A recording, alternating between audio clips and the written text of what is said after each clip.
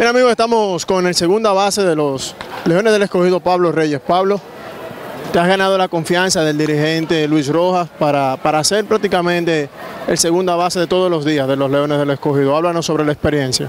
So, primeramente, tú sabes, siempre dándole las gracias a Dios y sí, hasta ahora eh, el escogido, o sea, Luis Rojas, Moisés tiene la confianza en mí de ponerme a jugar, ¿me entiendes? O sea, nada, nosotros solamente podemos, nosotros solamente damos el 100% todos los días, venimos a trabajar fuerte y seguir jugando la pelota, que es lo que podemos hacer.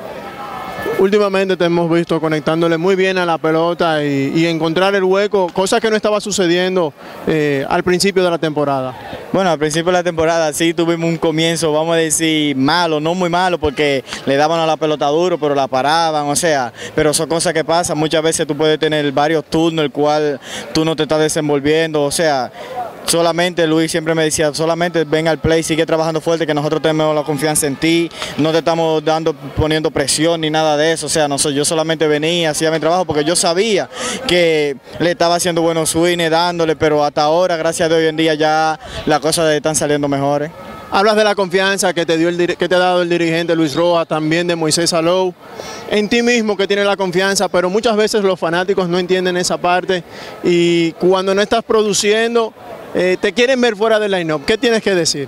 No, lamentablemente los fanáticos fanáticos son, ¿me entiendes? O sea, uno no puede decir nada porque, por ejemplo, tú puedes tener un año, 10 años en Grande Liga que están matando, ah, no, que fulano de tal, por un año que tú vengas mal, siempre van a haber comentarios. O sea, que nosotros los peloteros no le damos mente a si un fanático dice algo o esto, ¿me entiendes? Porque si lamentablemente fuera así, muchos peloteros estuvieran fuera de pelota, si, si pusieran, dale, eh, ¿cómo te digo? Si se pusieran estar viendo los fanáticos, lo que ellos dicen o cosas así, ¿me entiendes? Pero lamentablemente uno no puede controlar eso. Ellos pueden decir lo que quiera, pero uno solamente viene a jugar. Y uno le tiene estima a los fanáticos porque por ello uno está aquí en el, en el play, ¿me entiendes? Pero son cosas que pasan. ¿Qué nos puedes decir sobre qué debe de mejorar el equipo ya para, para colarse a la clasificación? No, el equipo, no te voy a decir que hay algo que tiene que mejorar, ¿me entiendes? Todos tenemos algo que mejorar, pero el equipo seguimos enfocados y seguimos dando el 100%, o sea, no importa lo que pase.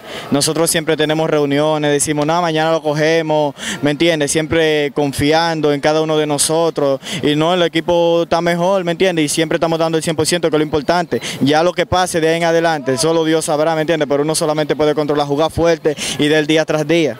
Gracias, Pablo. Gracias a todos ustedes y Dios les bendiga a todos.